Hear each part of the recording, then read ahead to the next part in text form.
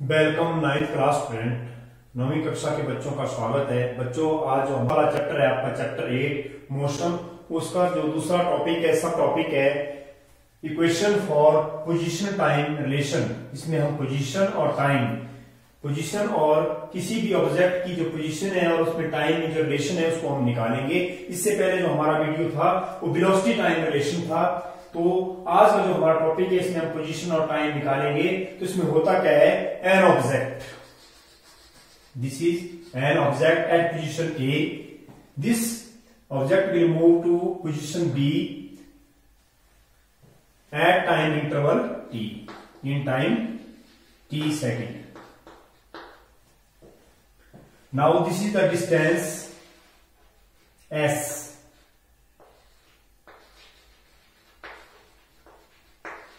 distance traveled by the by an object from position A to B. Here u is the initial velocity and v is the final velocity. Then the what is the relation between position and time? That is s is equal to ut plus half a t square. This is the relation between distance position and time. Here S is distance traveled by an object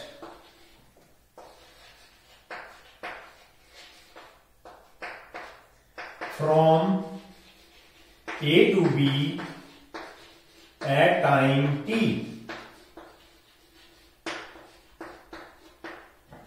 and u is the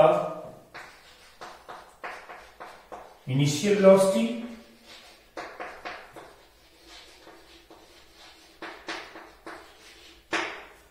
प्रारंभिक चाल के द्वारा जितनी वस्तु चलती है initial velocity के साथ, उसको बोलेंगे you we final velocity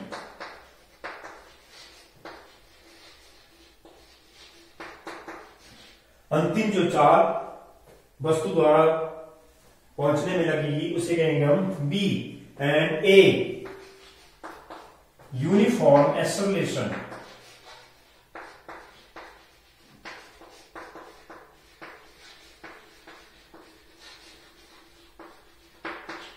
and t time taken by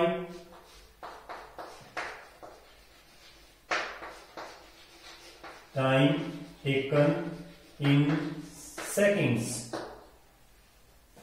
By an object.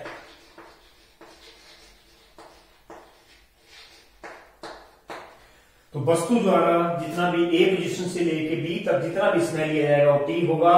और इस वस्तु द्वारा जितनी भी दूरी तय की जाएगी वो एस कहलाएगा डिस्टेंस और यू आरंभिक चाल होगी और बी जो है वो अंतिम वेलोसिटी होगी तो इस प्रकार हमारे पास जो रिलेशन बनेगा, वो पोजिशन टाइम रिलेशन कहलाएगा।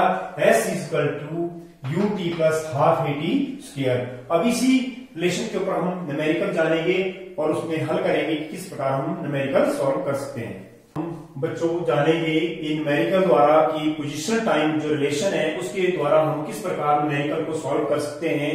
तो आपकी जो टेक्स्ट बुक है, उसका जो page number one nine one hundred nine है, एक सौ नौ पेज के ऊपर जो एग्ज़ाम्पल नंबर हमारे पास आपका 8.6 है, उसको किस प्रकार सॉल्व किया जाएगा? जिसमें दिया क्या गया है? एक कार है, जो कि ए पोजीशन के ऊपर है, जो कि यूनिफॉर्म एक्सलेशन के साथ एसलेट कर रही है और बी पोजीशन के ऊपर पहुँच गई। इसमें इसमें initial velocity 18 kilometre per hour है, आरंभिक जो इसकी चाल है, वो 18 किलोमीटर प्रति घंटा है और इसकी final velocity v 36 kilometre per hour है 36 किलोमीटर पर आवर है और टाइम टेकन ए से लेके बी तक उसको कितना लगता है? इस कार को पहुँचने में time equal to five second इस प्रकार आपके पास क्वेश्चन दिया गया है। इसमें कैलकुलेट हमने क्या करना है? कैलकुलेट हमने करना है यूनिफॉर्म एक्सलेशन ए ए का मान हमने इस क्वेश्चन में न्यूमेरिकल में ज्ञात करना है। दूसरा distance covered by car s in time t time में इस कार द्वारा कितनी, इस पाँच सेकंड में इस कार द्वारा कितनी डिस्टेंस जो है वो कवर की गई इस न्यूमेरिकल में हमने निकालना। तो किस प्रकार इसको हम करेंगे? तो सबसे पहले हमारे पास हमें मालूम है कि यू एसलेशन जो यूनिफॉर्म एसलेशन का जो फॉर्मूला है, उसमें क्या है? A equal to b minus u upon t uniform acceleration निकालने का जो हमारे पास जो फार्मूला है, वो a equal to b minus u upon t जो कि हमारा वेलोसिटी टाइम रिलेशन है, उससे हमें निकाला हुआ है। तो यहाँ पे बी का मान कितना है और हम यू का मान करेंगे, मगर यहाँ पे समय जो है वो सेकंड में दिया गया है और जो चार है वो पर आवर्स में दी गई है तो हमें पहले, सबसे पहले इसको कन्वर्ट करना पड़ेगा मीटर पर सेकंड में। तो यहाँ पे u is equal to eighteen kilometre per hour तो इसको चेंज करने में किलोमीटर में हमें मालूम है कि one kilometre has 100 metre and per hours है 3600 सेकेंड्स तो 18 गुना एक हज़ार बटे छत्तीस से हम भाग कर देंगे। तो इस प्रकार हम इसको कन्वर्ट कर सकते हैं। कैंसिल कर लेंगे। फ़र्स्ट ज़ीरो से फ़र्स्ट ज़ीरो दूसरी से दूसरी। अठारह एक अठारह अठारह छत्तीस। दो एक, दो दो पंजे दस। तो यू हमारे पास आ जाएगा फाइव मीटर पर सेकेंड जिस प्रकार हमारे पास initial velocity five metre per second आ जाएगी। उसके बाद हमारे पास v, वो है 36 किलोमीटर पर आवर तो उसको भी हम उसी प्रकार चेंज करेंगे। 36 गुणा एक हज़ार बटे छत्तीस सौ। तो किलोमीटर में, एक किलोमीटर में एक हज़ार गुणा कर देंगे। पर आवर है उसमें 3600 से हम डिवाइड कर देंगे तो इस प्रकार हम इसको सॉल्व कर लेंगे। छत्तीस कम छत्तीस छत्तीस कम छत्तीस तो हमारे पास आएगा टेन मीटर जो हमारे पास बच गया टेन मीटर पर सेकंड तो इस प्रकार हमारे पास बी का मान आ गया यू का आ गया, और टी हमारे पास पहले ही फाइव सेकंड दिया गया है। तो हम इसको अब सॉल्व कर लेंगे। तो यूनिफॉर्म एक्सलेशन ए कितना हो जाएगा हमारे पास। V ten metre per second minus u five metre per second upon five second तो दस में से पाँच गए, पाँच बच जाएँगे हमारे पास, और बटे में पाँच तो मीटर पर सेकेंड स्क्वेयर यहाँ पे एक्सलेशन का यूनिट है सेकंड जो है, यहाँ पे फाइव एस सेकंड है, वो भी ऊपर जाके सेकंड स्क्वेयर बन जाएगा। तो हमारे पास पाँच से पाँच कैंसिल हो जाएगा। तो हमारे पास आ जाएगा one metre per second square जो है हमारे पास, इस क्वेश्चन का जो यूनिफॉर्म एक्सलेशन है, उसका मान आ जाएगा अब हमारे पास distance covered by the car है। पास जो u की वैल्यू है, वो 18 किलोमीटर पर आवर है, जो कि 5 मीटर पर सेकंड बनती है। और v फाइनल वेलोसिटी है, वो 36 किलोमीटर पर आवर है, जो कि हमारे पास 10 मीटर पर सेकंड बनती है। टाइम जो है हमारे पास 5 सेकंड है। तो हमारे पास distance covered by the car s का जो फार्मूला है, वो पोजिशन टाइम रिलेशन से s is equal to u t plus half a t square और s is equal to u five, multiply by five, plus one upon two, a.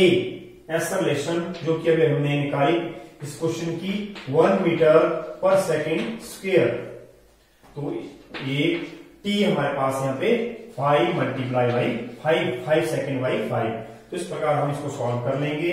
तो twenty five five five जा twenty five five five जा twenty five upon two, यहाँ से पाँच पाँच गुना कर लेंगे और दो से भाग कर लेंगे तो हमारे पास बन जाएगा ट्वेंटी फाइव और ट्वेल्व पॉइंट फाइव जब हम पच्चीस को दो से भाग कर लेंगे तो हमारे पास आ जाएगा बारह दशमलव पाँच। अब इस प्रकार हम इसको ऐड कर लेंगे पॉइंट फाइव जब हम इसको ऐड कर लेंगे thirty seven point five metre. Distance covered by the car तो इस प्रकार हमारे पास डिस्टेंस covered by car in 5 seconds is equal to 37.5 metre इस क्वेश्चन का जो दूसरे पार्ट है, उसका आंसर हो फॉर्मेशन निकाली जाएगी, वो वेलोसिटी टाइम से निकाली जाएगी। Thank you